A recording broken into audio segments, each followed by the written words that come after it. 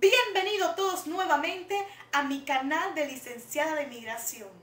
Autoridades estatales y organizaciones comunitarias en Georgia reiteraron este lunes que no se requiere presentar prueba de estatus legal en el país para recibir la vacuna contra el COVID-19 ante la denuncia de inmigrantes documentados, lo que se le ha negado la dosis. La portavoz del Departamento de Salud Pública en Georgia, Nancy Midam, dijo este que el estatus migratorio no se considera para la vacunación y que se comunicaron con una tienda en Georgia para asegurarse que tenga información precisa tras reportarse la denuncia de unas personas a las que impidieron vacunarse por tener papeles en los últimos días trascendió el caso del hispano Alejandro Artega, que denunció que no había podido conseguir una cita para vacunar a su padre en una tienda de Walmart en la localidad de Chamberlain, en área metropolitana de Atlanta, porque no era residente legal en los Estados Unidos. En el caso de Artea, que fue reportado inicialmente por el medio local Univisión 34, la tienda Walmart indicó que ellos no piden pruebas de residencia, por lo que posiblemente se trató de un error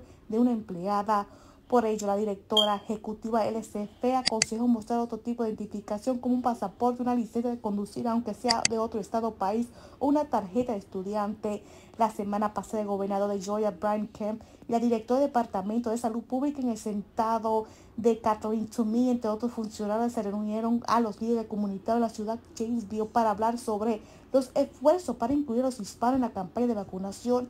tras el encuentro, Chumi destacó la importancia de que todos los residentes de Georgia se vacunen contra el coronavirus, independientemente si tiene o no seguro social. La administración del presidente Joe Biden también ha insistido en que debe garantizar que todas las personas que viven en el país reciban la vacuna, incluyendo los inmigrantes y documentados. Recuerden de suscribirte a mi canal Licenciada de Inmigración, activar la campana de notificaciones para que reciba notificaciones cuando suba nuevo video, darle me gusta, comentar abajo y compartir. Bendiciones a todos.